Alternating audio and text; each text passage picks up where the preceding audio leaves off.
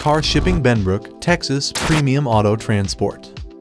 Home to more than 20,000 people, Benbrook is one of the few cities in Texas that prohibits alcohol, and is also a very family-oriented area with many things for families to do to entertainment and outdoor fun.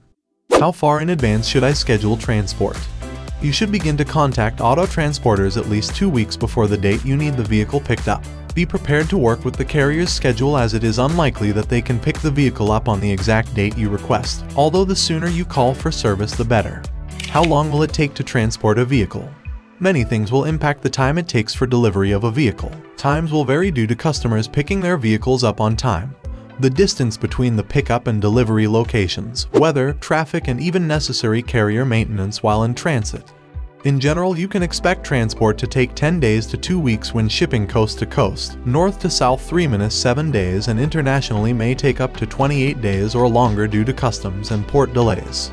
To book our car shipping service tour from Benbrook dial 1 888 230 9116.